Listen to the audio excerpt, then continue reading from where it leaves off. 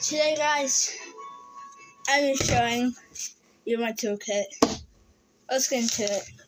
Alright. I'll reach it right here, from right here. Alright, let's see what we got. Alright.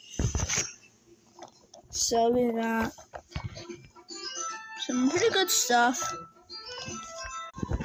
Yeah, so chicken in the light.